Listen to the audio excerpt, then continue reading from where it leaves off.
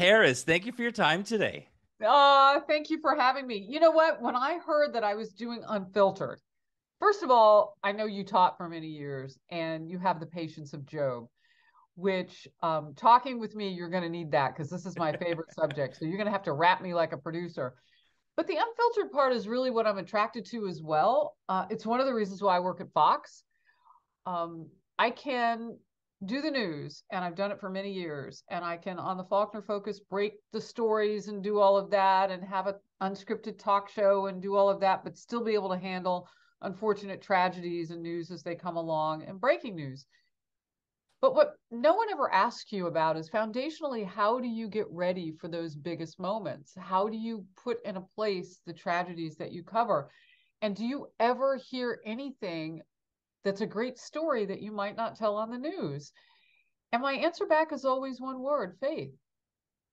That, that's what people don't ask me about. That's where I foundationally go. That's those are the stories, those are the, the testimonies in that category that are coming out all the time, and we don't see enough of them. And I think because we don't see faith and miracles and all of that being talked about and celebrated, I mean, it's sometimes tolerated in certain areas of the media, but very few places you go where you're unfiltered enough on that platform, like with Ryan right here, Ryan McNeil right here, you can be unfiltered. Very few places where you can go and be who you are. And I think that when it comes to faith and moving mountains in your life, I am here to say that faith still moves mountains and the power of prayer and miracles is as real as ever. And you ought to get that news from a journalist. Because if there's anything you ought to know about me, if I'm going to ask you to trust what I say, is how I know important things come from people who pray. I pray over the words that I speak. The vulnerability came from humility and listening to other people tell me things about what I had covered that I did not know. So, uh, Colorado mom with her two teenage kids at the Batman movie. Shooting starts inside that theater. And we all know it by the perpetrator, James Holmes, with the wild hair and, and all of that. And they found him guilty of killing a lot of people. But what I didn't know was how much faith was part of that story. And when you learn how a family, a mom and her two young girls, she never thought she'd be in that environment. She had teenagers like I do. She didn't want to be there. I mean, a midnight showing of the Batman movie, she's like, I could sleep. I mean, I think most parents think that. But the vulnerability for me came from how much greater a responsibility I had now to get the story right and only once. Because in news, you'll often hear us say, well, this story, this blah, blah, blah is fluid and the facts are coming in and they may, you know, things may change as we get along, the number here of, of tragedy, whatever, blah, blah, blah. But I couldn't do any of that. It had to be right. And because it wasn't just going to be the, te- the faith testimonies of the people and the stories that I wrote, the 19 of them, some of them were going to be touching other people who were going through things. Some people were going to be attracted to Faith Still Moves Mountains for reasons that I couldn't even imagine. So, if the Lord was going to bring in a bounty of people doing what I did in 2020 on the day of Christmas, praying and saying, Lord, are you even hearing me anymore? If this book is going to get them to lean back in and start talking to God, I am completely exposed. And it's a frightening place to be because what if I have my own doubt in a moment when somebody is telling me their story? Like when Danny met Doug, a woman who had spent her younger years in nursing homes because doctors basically were in give up mode. And she was around palliative and hospice care patients when she was young she was in a wheelchair. And, and when you when you read that story, by the way, another contemporary story. So these miracles are within us and around us all the time. When you see that Danny meets the love of her life, who's close to her age in a nursing home environment, where more people died than lived around her. And then in their life together, they start to go to church. And in that life with, with Doug, she walks one day at church. Now, the doctors said that that would never happen.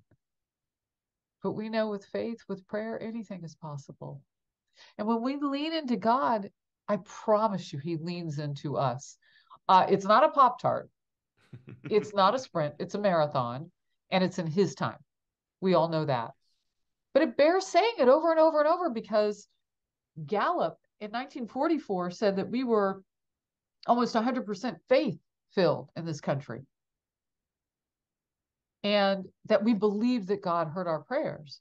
And then fast forward to the last four or five years, and Gallup says, no, we're still doing the same survey, and only 40 people, 40% of people who believe at all believe that God intervenes in any kind of a way. I mean, think about the things in your life that have dropped off at that percentage. They're probably not in your life anymore in terms of how important they would be or whether or not they have believability. You wouldn't be doing them. So I had to be really careful as I was writing this book that I kept everybody in mind, not just the subjects that I was interviewing and the stories that I was telling. But if I was going to be moved to do something more historical and it was going to be a posthumous storytelling, the responsibility was huge with General George S. Patton saying that he carried faith with him and, and prayed with chaplains before the Battle of the Bulge. I'm going to need some sources. Well, only God could bring Benjamin Patton, his grandson, into my life. Like, let's just face it. I'm a girl who doesn't get out much. I'm always working and raising kids and doing whatever. So it was the responsibility that brought on the vulnerability. And I think now there were times when I was scared. But it was a short process because Fox News Book said, if we're doing this, we're doing it now. You've got 90 days to get it together. And I said, no one writes a book in that time. Someone does. And you and I know her. Awkward to talk about myself in the third person. Let, let's start at the beginning of this. Sure. How did this project start? It was a little bit strange. I, I, I had lost my father to pancreatic cancer after an eight year battle, and then lost my my dog and really best friend of, of 15 years about six months after that and then covid hit and ended up losing a grandmother and, and two aunts as well and during that time when we were so isolated we were sort of you know unable to really honor the people that we had lost in the traditional ways that we were accustomed to and and i felt lonely in those moments, feeling that I was struggling with something and not able to connect other individuals uh, about it. And so I was looking for ways to sort of reconnect to my dad, and and we had always had this bond of adventure together. We had done all sorts of adventures all over the world ever since I was a little kid, and so I, I decided to write his name on one of my surfboards, and I sort of turned to surfing during that time as a way to you know de-stress and cope with some of the things I was dealing with. And so I I put his name on one of my surfboards and paddled him out into the ocean. And, and it was in that moment that I, I felt connected to him again, that we were on another adventure together. And it was something that I was looking for for a long time. And and so because of everything that was going on in the world, I thought that there was other people also who were sort of struggling in, in a similar way, feeling sort of lost and alone and unable to honor the people that they had lost. And so I came out of the water and grabbed my phone, recorded a video on TikTok and, and put it up there. And it was really just this this open invitation to anyone who was struggling, who had a loved one who had a connection to the ocean or loved nature. And I didn't have any expectations that anything would happen to it. And I woke up the next morning and the video had gone viral and I was getting submissions from people all over the world. And, and so I decided to start that project. Really what it is, is just writing the names of these lost loved ones on surfboards as a way to memorialize them out there and in a place that was important to them. Because as I'm looking at you right now, I'm assuming, I'm thinking that board behind you has what, at least a hundred names on it? 2031. Wow. I'm happy my estimate when it was yeah. too low though. Yeah, they all have about around 2000 on them. They're this one's They uh, all how many surfboards have you filled?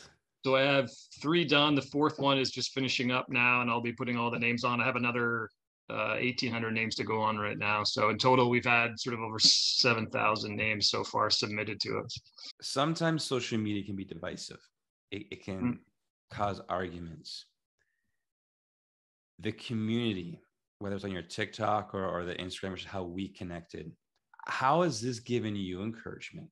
Yeah, I, I had been as we all are involved in social media and had you know certain videos do well or pictures do well. A lot of my social media had been dedicated to my dog that i'd lost. And uh, you know there's a lot of suppression. There's sort of definitely a lot of you know divisiveness on on social media. And and i hadn't ever I had never used it necessarily for something good. I mean, I had shared, you know, pictures of of the dogs and adventures and that sort of thing, but it was never something to unite people around the world with a, you know, a common goal in that way, and especially to to heal people that felt disconnected. I never really thought of what social media should really be as a way to connect us over positive things, and that, that never really happened. So when I saw, you know, you know, parents commenting about a lost child, they lost it, you know, four and a half years old, or people in hospice care who had a dying wish to go out on you know into the ocean again.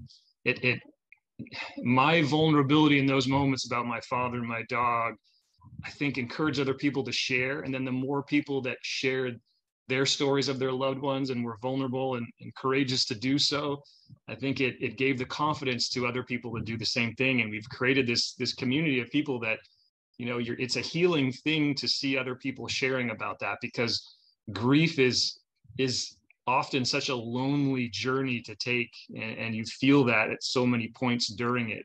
And so to see other people sharing their own grief and what they're going through i think gives people a sense of comfort. And that's a lot of what the project has been able to to offer is people reading comments feel a comfort in that. And then seeing their loved ones out there in a place that they loved also gives them a sense of comfort too. So it's it's sort of something that we're doing all together to help heal in a difficult time what about that deployment solidified this is what you are meant to do. This is what you're built for initially i wanted to come in to the military and the special operations you know post 9-11 because i was pissed off and i wanted to be part of the fight in response.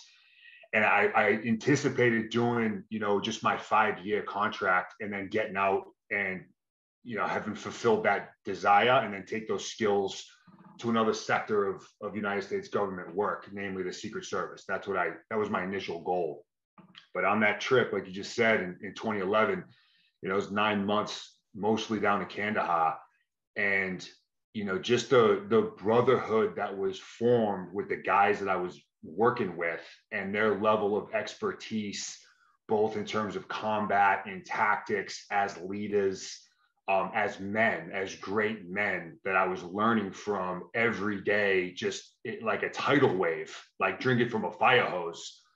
Um, and then just that satisfaction about being involved in uh, national security, you know, at the highest of levels. Uh, I couldn't imagine doing anything else that would give me that same level of satisfaction. So yeah, man, that was really where I fell in love with the profession and decided to turn it into my my my career. You busted your butt to get back physically. So jujitsu, I believe. When when you were teaching, there was lunch workouts. When you got to return to Afghanistan, when you returned to, I hope it's the right term, but your band of brothers, mm-hmm. when you're fighting for your country, how rewarding was that? it's tough to quantify it, man. Um, you know, it was I had this envision in my mind in the earlier phases of my recovery of me, you know, getting off of that C-130 back in Afghanistan with my arms raised, you know, and being like, "Hey, I'm back," uh, and kind of hitting the top of that of that ridge line. But even when I when I was still recovering and I was going through more advanced training, that that focus shifted from it being about me and me achieving my goals to me doing something for a greater cause, which was my teammates. I, I all, like most of these roads, man, lead back to the to the guys I got the opportunity to work with. So I, I had put them as my motivation, inspiration, and, buried into my why while I was going through all this, all these these this training and the struggles and the adversity. So um that the moment was, you know, I did get to raise my hands like, you know, Rocky at the end of the fight, like I won, but you know, it was it was more about okay, I'm here and I've been training to be an asset for these guys and for this team now for for over a year out of my mind doing so. So while it felt great, I immediately found myself at the bottom of the next ridge line that I needed to start climbing immediately. So it was a very short-lived kind of celebration, uh, one that I certainly had. But then it was like, okay, man, now, now you're back in the game and you need to get focused because you still have a lot of work you need to do and there's a lot at stake. One of the things that caught my attention and has been challenging me um, is the idea of increasing your intellectual stock. So, what are some ways that you initially did this? And if you're okay answering this to follow up, what are some ways you're currently doing that? I don't know if it's as a father. I don't know if if it's if it's um your your work um uh, the special forces still. I just love the idea of increasing your intellectual stock, and I'm trying to work on that myself in some different ways. And I'd love to hear where that came from, and if you're comfortable sharing some ways that you're currently working on increasing your intellectual stock. Awesome question. I am so glad you asked that. I'm not sure anyone's asked me that before. I eventually and thankfully quickly, although it was a difficult pill to swallow, realized that no matter how much time I spent in the gym or on the track or in the pool, I was not going to be as physically dominant as I was with two legs. That was difficult because I grew up an athlete, as an MMA fighter, as a as a hard charging physical guy. I was, you know, 80% brawn, 20% brain and I enjoyed it. My teammates, that's what they asked of me. It was kind of a win win for everybody. Once I came to that realization, it was like, okay, how do I increase my value otherwise to make up the gap for what I'm going to lose physically? And, you know, when you think about a Green Beret or a Navy SEAL or an Army Ranger or anyone that's in the special operations community, you typically think of the cool guy stuff, like kicking down doors, shooting bad guys in the face, jumping out of planes, blowing shit up, right? Like that stuff, which is stuff that we certainly do. But there are an entirely different host of skill sets uh, that really make us successful, kind of the softer side of our business. So I knew that at this point of my career that those things existed. Uh, I didn't do any of those things prior, but I knew that they were there and they were valuable. So I essentially just forced myself into those different lanes which started for me in the hospital. So, like, rather than reading about kinesiology and exercise physiology and nutrition yeah. and combatives and marksmanship, like those were that was the type of information that I would consume when I would be reading or studying. Rather than that, I was reading about cultural dynamics of Afghanistan. I was reading about campaign planning, military strategy. I was increasing my foreign language capacity. So I really went down this like crazy nerd road of all these things that we do, uh, operating mostly on blind faith that that would provide the value gap that I needed to make up and still be the asset that I needed to be if and when I got back to the team. So that's what that that's what that looked like initially. And to kind of go full circle, when I did get off the plane in Afghanistan two years later in Afghanistan um, for my first deployment as an amputee, I was able to employ a lot of those skill sets um, and capabilities that I had forced myself to learn, which was painful, Ryan, because I really didn't enjoy it. So it was pure discipline and faith that enabled me to do those things. But I was able to actually employ some of that stuff for the for the greater good of the mission and for the team. And the second part of your question um, is, yeah, of course. I mean, that really was the catalyst for me to see the value in our our brains being the the most casualty producing weapon we have as human beings. Um, that is our greatest asset is our brains and our ability to think and our intellect more so than how much I can bench press and how fast I can run. Those, those physical, tangible, quantifiable accomplishments really don't mean all that much uh, if you don't have the brain power to make the correct decisions at the right time and analyze your environment and you know rapidly conduct risk assessment all those things happen by increasing your cerebral capacity so um, yeah i pursue that stuff to this day um, you know kind of one of maybe the highlights to point on is you know about halfway through my master's degree in psychology which you know, is something that I've grown to be interested in. And I see value in that both as a Green Beret and then just throughout life, you know, understanding and appreciation for how people think and, and why people think a certain way. And then lastly on this point is, you know, I'm reached out to constantly, Ryan, by, by aspiring uh, SOF guys or gals. Like, hey, I want to be a Green Beret. I want to do this. Like, do you have any recommendations? And out of the gate, almost certainly I'll ask, you know, what are you reading? and they typically don't expect that question coming back from me. They, again, their mind is more about marksmanship physical. and phys- physical capabilities and and this aggressive go-getter attitude and, and those are all important but what are you reading tell me about what you're studying because again i don't I, I need you to be able to run fast but more than that i need you to be smart and educated and have a high degree of intelligence that, that you can use your brain effectively within these high stress environments. So I can't possibly undervalue how important that is, whether you want to come into soft or whether you're already in it, or really regardless of what sector you're within. You know, I challenge people to be pushing those those cerebral capacities um, every single day. Since COVID, it's kind of amplified some things in our society. What are some shifts? What are some worries? What are some concerns that you're seeing as a pastor over the past few years? Whew, yeah, that's a big question. So, yeah, I started pastoring 16 years ago. I planted a church and I'm still pastoring that church today. So, um, I've watched a lot of shifts happen. And as you said, they've they've accelerated in the last several years. So, so here's what I would say. I would say um, the um, Michael Brown shooting in Ferguson, Missouri, uh, followed by the George Floyd death in uh, Minnesota, were launching pads of a lot of social change. Um, in addition to that, you in the middle of those two events, you had the election of Donald Trump, which was also, um, you know, a cultural, you know, kind of blow up.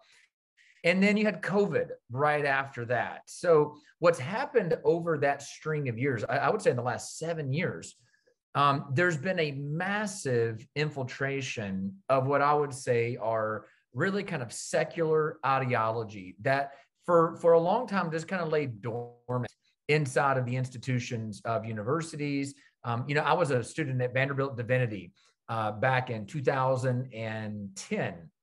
And I stayed for about a year and a half before I finally just said, no more, I cannot do this.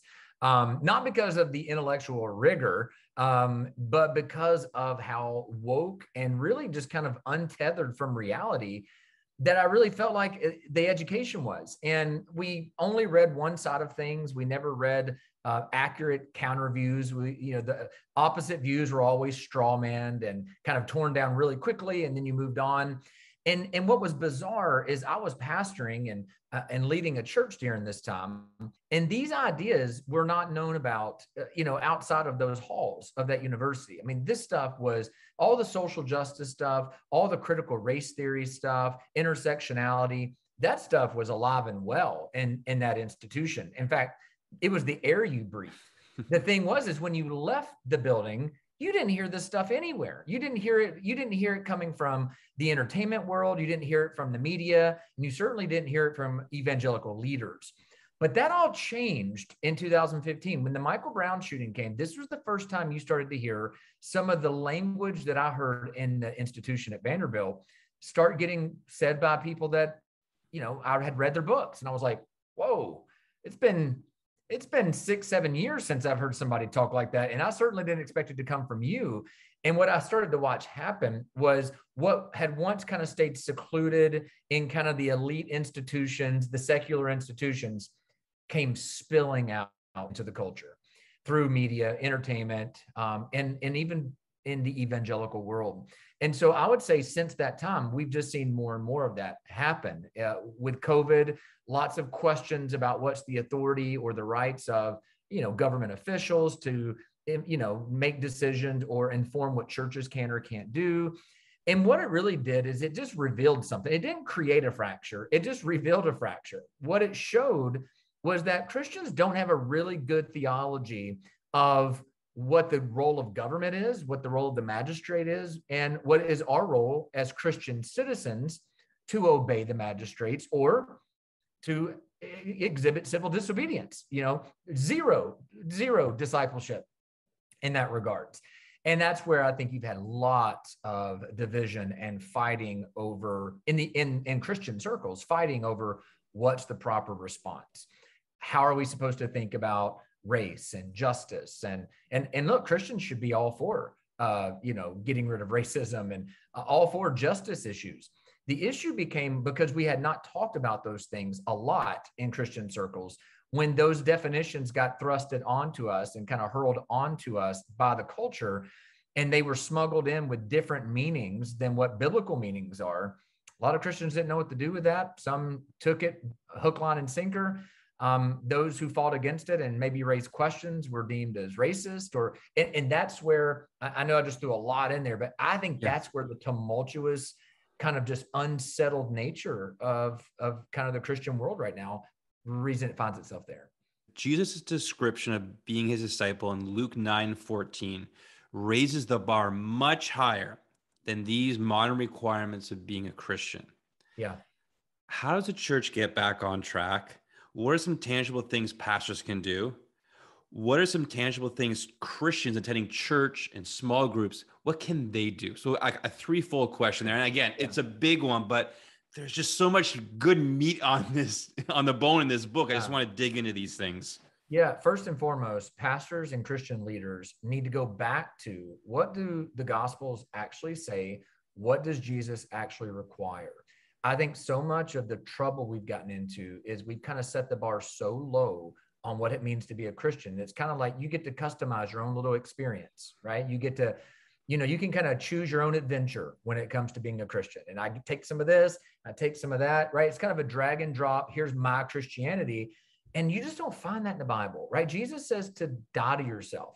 He says, take up your cross daily, follow me, which means you are to die daily, deny yourself daily, and follow what the Lord says. And the fact that we call him Lord means he's master and we're not. So I think pastors and churches have to get back to teaching this core message. If you're going to follow Jesus, it's going to cost you. That's what Luke 14 gets into. Count the cost, Jesus says. If you're going to come follow me, make sure you count the cost. And if you don't count the cost, he says three times, you cannot be my disciple. You cannot be my disciple, right? That th- those are strong words. So I think we got to get back to that. Second, I think Christians have to go back to asking the question what does God's word say about what it means to honor him and follow him? Again, I think we've got to move away from this language that we've really, you know, we've we've kind of co- you know, co-opted into our our vocabulary, which is this, I feel like, right? I hear so many Christians say, well, you know, I just feel like God wouldn't. it's like, you know, I, no disrespect, but it's like, who cares what you feel like? What does God say? I don't think Jesus wanted to be on the cross and die that way. I don't think he wanted or he felt That's like right. it. That's right. It wasn't about feeling. In fact, we know in the Garden of Gethsemane, he says, if yeah. there's any way this cup pass, yes. Nevertheless, not my will be done, but your will, Father. And so I think we got to get back to this. What does the Lord say? And how do I bow the knee to what the Lord says? Listen, even if I have to drag my my wayward feelings with me, kicking and screaming. I, I think we've developed kind of this unspoken idea that if I feel it, it must be right. You know, I can't deny my feelings. I have to stay true to myself. Like that's secular discipleship. That's not biblical discipleship. That's the secular world saying, follow your heart. You know, if you feel it, you can be it. You know, you do you. These are secular creeds that Christians have somewhat absorbed. And we've kind of mingled it with some of our Christian teaching, and we've produced something very different. And I think we've got to go back to the Word of God, not just being something we affirm in name only, but we actually come under the authority of what it says and we live it. I think that's what's missing. So I think Christian small groups, we've got to go back to hey, what does God require of his people? Well, we know that from the Word. And we've always got to measure what we feel against that. If our feelings match what God's word say, then great. Follow your feelings as you follow the word of God. But if your feelings do not line up with what the word of God says, then your feelings are actually called to come under his authority. I've enjoyed your book. I also really enjoy your Twitter account. There's there's daily challenges, there's ways that kind of shift or even challenge my thinking. And part of that are you share articles you write. And today, again, Tuesday, I loved your article, Dumping Disney. So give listeners a quick summary. Yeah. And please share where they can find this article so they can give it a read themselves. Yeah. So the article, uh, it's called Dumping Disney. It's at World Opinions. Uh, so World Opinions. Um, I wrote the article for a couple of reasons. One, you know, I love, I've always loved Disney. I've taken my kids to Disney. We we had Disney Plus. I canceled it several months ago. Um, I typically go to every Disney Pixar movie that they release. All right, we love enjoying entertainment. But what's become very clear over the last several years and things that have been revealed is that Disney is not a fan or for uh, the things that Christians value at all. And not only are they not for what we value, but they are very much the antithesis of what we value. A lot of the secular woke ideology is what they are not only for, but they're activists for those things. Um, they have come out. There have been, you know, meetings that have kind of been unveiled, you know, from, you know, I guess they were Zoom meetings or team meetings that got recorded and were leaked that, you know, they are very much trying to promote LGBTQ plus uh, initiatives and goals and their movies and their storylines. And so you know they're they're free to do that right? They're welcome to do that. It's their own company. But i think christians need to understand that is what they're committed to doing. Um, and as steve jobs once says the storytellers are the most powerful people in the world because they're the ones who shape what people think. They're the ones that shape the next generation and what they believe and what they value. And disney understands that. They understand that the stories they tell shape people's minds and they are trying to shape the minds of the next generation. And so i think christians i'm not calling for a boycott but I, and I think every Christian has to use their own conscience. And you know, where where is your conscience? You got liberty to go to to Disney parks if that's what you want to do, right? There's no law being laid down. But I think we've got to quit being naive. I, I think Disney is operating on a ton of borrowed capital from their past. Um, I, I think if Disney were a company that were one years old or two years old, and they were doing all the same things that Disney now are doing, both by way of what they produce um, the movies, the parks, everything. But we knew what we what we know right now about them and what they try to teach and what they promote. I don't even think it'd be a question. I think most Christians would be like, "Ooh, stay away from there." But I think what's happening is is they've got 75 to 100 years almost of capital where we've got nostalgia connected to our favorite movies and characters and experiences at their parks. And and we carry all that into the present and we give them the benefit of the doubt. And we forget like no guys they are very much trying to teach you know things that go against our faith altogether to your children. And so you know i think we've got to wrestle with that.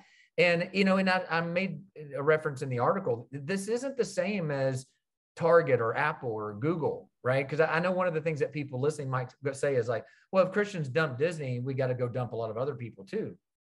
And I would first say, maybe, uh, you know, maybe you should. But here's why Disney's different. Disney's different than Target because while Target may promote all these values as well, I can walk into Target, I can buy a pair of jeans, I can get some headphones, I can go buy some groceries in Target, and they're not trying to shape my worldview when I do it right? I, am it's a pure commodity that I'm going in to buy and I'm leaving the store.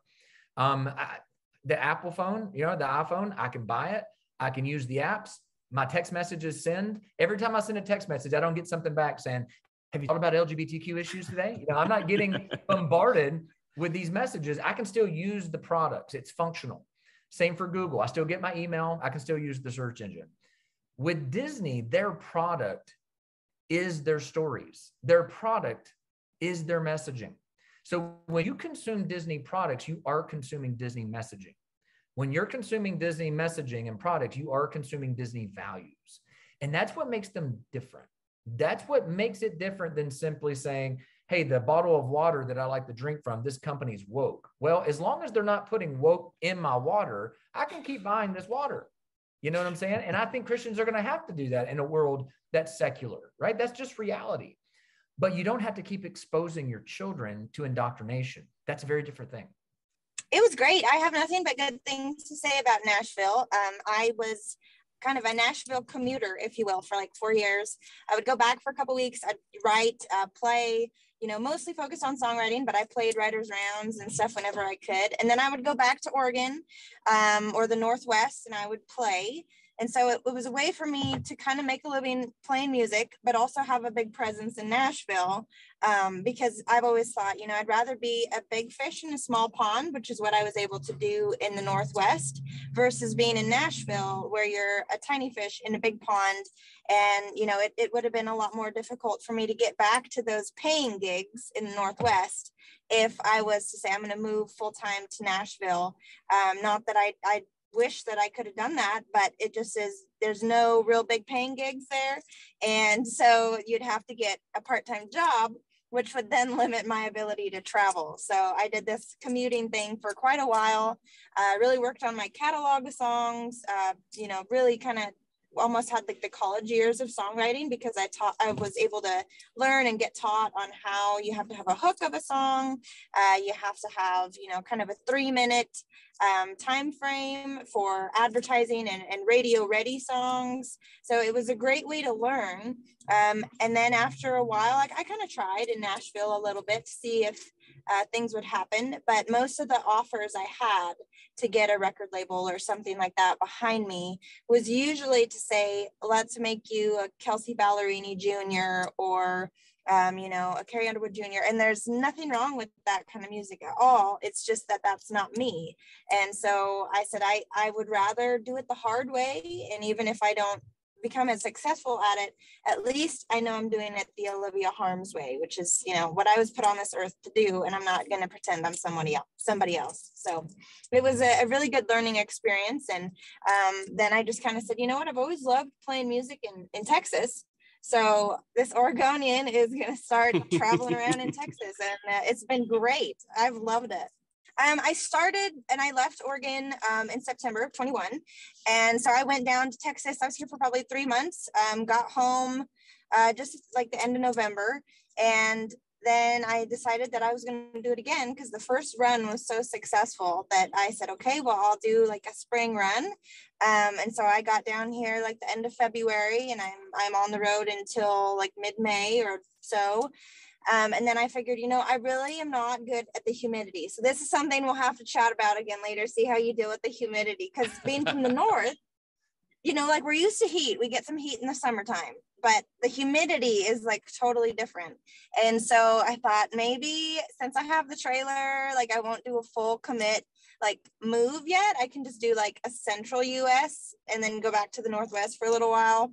Um, and then I'll come back down, you know, September, October, November, and I'll like do that whole thing again. Um, that way I can kind of get the best of both worlds.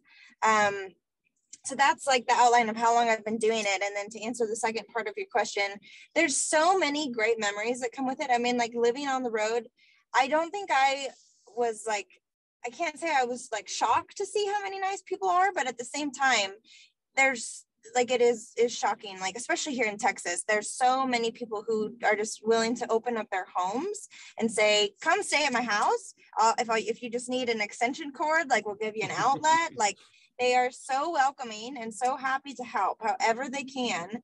And that has just been amazing. I've met so many great people that i i just like feel like i've adopted into my little family on the road because i feel like now i have all these friends all over texas that i can call up and say hey i'm coming through. Do you mind if i park my trailer? And um, i get to have like this adventure along with loving the travel and you know music because I just get to have all these amazing new connections. And so the memories that I have made with all these new friends, I think is my favorite because there's no way I would have ever met them if if I didn't live in a trailer. so my first question and the one I've been itching to ask you is how did you start as a stand-up comedian? Was it an open mic night? Was it a, a bet from a, a, friend who thought you're you're incredibly funny and wanted to see you try this this out as an open mic? How did you start as a comedian? It was a combination of a few of those things. I was actually in a play in college. I started doing theater in uh, in college, and I was playing George Bush, George W. Bush, in a play called Stuff Happens. It was uh, I think it was a Broadway show in in England, and it came to the U.S. And uh, a friend of mine, I mean George Bush is a funny guy. I don't think he knows he is, but um, a friend of mine saw me in the play and he goes, Hey, I, I had do a stand up comedy show in the cafeteria at our college. You're going to do five minutes next Tuesday. He goes, You have to do stand up. And I was, I was just mortified. I was up, I was up for like a week writing jokes and uh, threw myself up there. It was an absolute train wreck. People probably walked out. A couple people probably started crying. You just have no idea what the hell you're doing in the beginning.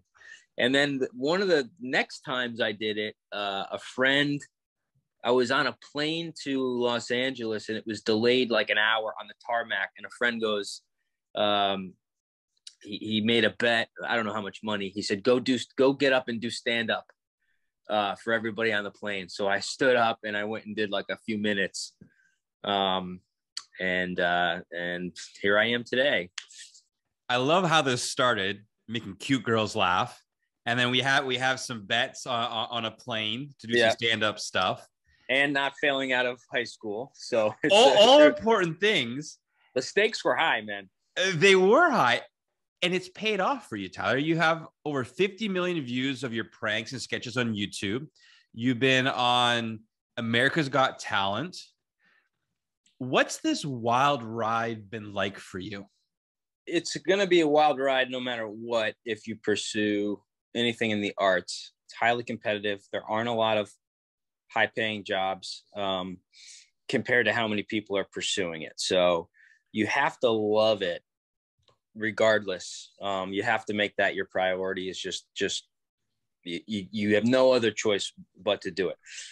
But what's interesting since i started um, pursuing all this, a lot has changed in the entertainment business. The streaming services came in. So I used to go to Los Angeles every year for what's called pilot season. All the new TV pilots, you go and you audition, you hope you get a role, and then you hope the TV show gets picked up, and then boom, you're you're in the cast of Friends or Seinfeld or you know, or whatever. Um, that that stopped because streaming services can start a show any day of the week, um, any month of the year. Uh, so you've got you've got that changing sort of platform with um, I suppose no other way to put it than the woke ideology where now rather than talent oftentimes it's we just want to we want to fill these roles. We want to as the uh, producer or the the studio we want a virtue signal that we have we can check every box. And they became they started to get vocal about that. And so i started to lose auditions jobs agents explicitly because hey you know not the best time for white guys. We're not hiring white guys. I've been hired for jobs and then fired because they said it's going to be a better look if we have uh, someone who doesn't look like you. So it's been a it's been wild and and all of that really forced me to double down on making my own content and really going for building a following. And so it's it, and then a lot of my videos get taken down or shadow banned because I made fun of Fauci and made fun of I make fun of everything.